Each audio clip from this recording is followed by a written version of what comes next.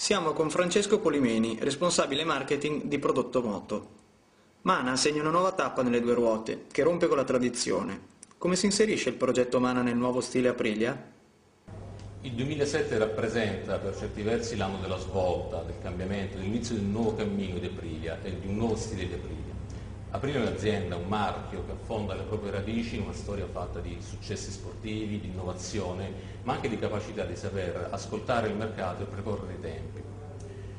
E questa è un po' la situazione che il mercato ci mostra oggi. Il mercato è diventato sempre più aggressivo, sempre più competitivo, per cui un approccio ai limiti dell'autoreferenzialità, ossia di limitarsi, grazie alle competenze acquisite negli anni, a produrre, a progettare dei prodotti leader assoluti in termini di prestazioni, non è più sufficiente. È fondamentale, oggi come oggi, aprire le orecchie al mercato, cominciare ad ascoltare un po' più a fondo quello che il cliente ci dice, le sue esigenze, i suoi bisogni, dichiarati o latenti. Dobbiamo anche parlare una lingua differente, che poi tanto nuova non è. Nel senso, il mondo delle moto da alte prestazioni si sta sempre più richiudendo nei circuiti, vuoi per questioni di sicurezza, vuoi per normative e controlli con autovelox sulle strade. Ma questo non vuol dire che l'utente medio in realtà non sia alla ricerca di prestazioni in termini di emozioni, emozioni, esperienze di guida intense ma non esasperate. Questo quindi è il linguaggio della nuova Aprilia, che Aprilia vuole parlare, facendo leva sulle forti competenze in termini di sviluppo di, di, sviluppo di moto ad alte prestazioni, cogliere i bisogni dei clienti e soddisfarli nei pochi momenti che hanno da dedicare all'utilizzo della moto per massimizzare il divertimento e lo svago dell'esperienza di guida, ogni qualvolta si inforca una delle nostre moto.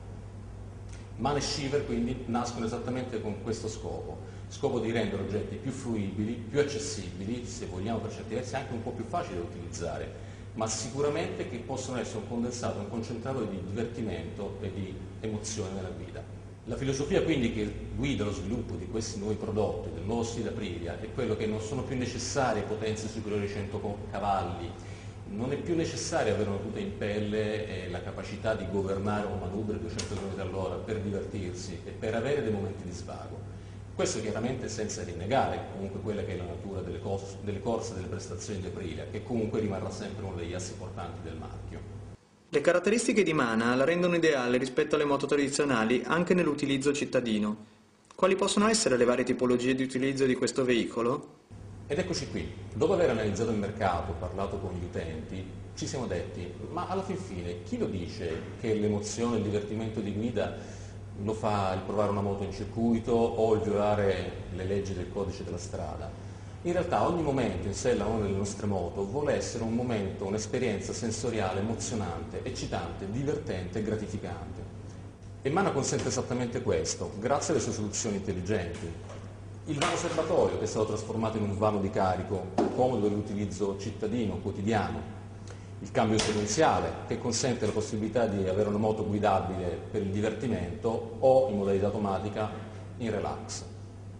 E quindi già me lo immagino l'utente in sella alla mano, me lo immagino che la mattina esce dal garage sulla sua moto, si immette nel traffico congestionato delle nostre città e quindi mette il cambio in modalità automatica per avere una guida rilassante, senza stress, con la libertà di guardarsi intorno e godersi il tragitto fino al lavoro. Ma poi, come un attimo di tempo, lo vedo sciogliere il nodo della cravatta, levare la giacca, mettere il giubbotto, saltare in sella e via in modalità sequenziale uscire dalla città e andare in collina a fare un po' di curve, un po' di pieghe per divertirsi. Mana è finalizzata a raggiungere un target specifico? Quale segmento andrete ad insediare? E quale cliente? Mana non andrà in un segmento, Mana in realtà sarà il segmento, nel senso che sul mercato non esistono prodotti confrontabili in termini di innovazione con Mana. Ci sono prodotti che possono essere confrontabili in termini di caratteristiche tecniche, di dimensione del disco freno, di potenza e di discorrendo, ma quello che noi uomini di marketing definiamo il concept è assolutamente unico, assolutamente inconfrontabile con nient'altro sul mercato. Ci siamo quindi resi conto che c'è un'ampia fascia di, clienti, di utenti che vuoi per variate condizioni di stile di vita, esigenze, necessità, si è trovato costretto a fare delle scelte, nella migliore delle ipotesi avendo un'ampia disponibilità economica di gestire un parco moto, quindi la moto per il divertimento, lo scooter per andare in città al lavoro e la moto per il weekend, non avendo questa disponibilità a fare delle scelte di campo e dover quindi rinunciare a qualcosa. Mana ti consente esattamente di non rinunciare a nulla, in quanto incorpora tutte queste anime in una moto sola.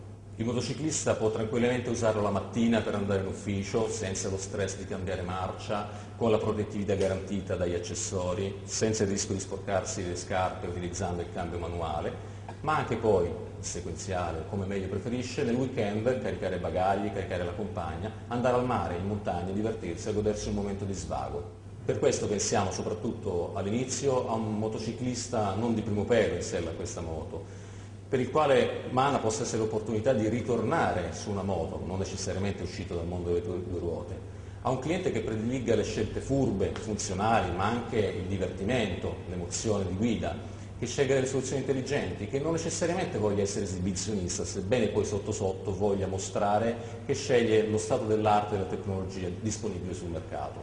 E poi non dimentichiamo che Mana sotto sotto è una moto un po' sorniona, può essere docile, può essere addomesticata, ma all'occorrenza sa essere una vera brucia semafori.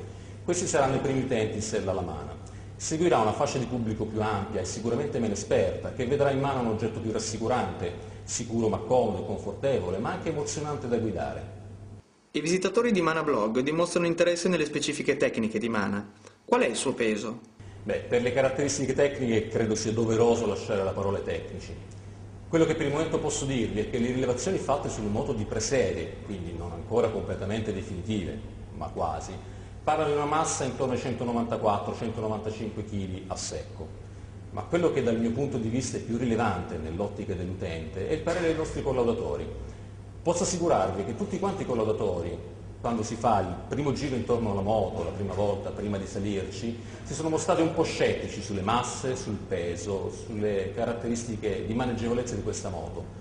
Ma vi garantisco che finito questo giro in moto, si sono tutti quanti dovuti ricredere sulle caratteristiche di Mana e tutti quanti hanno detto Mana è una vera Aprilia che risponde alle caratteristiche di maneggevolezza che sono uno degli assi portanti di tutte le moto di Aprilia. Qualche anticipazione sul prezzo?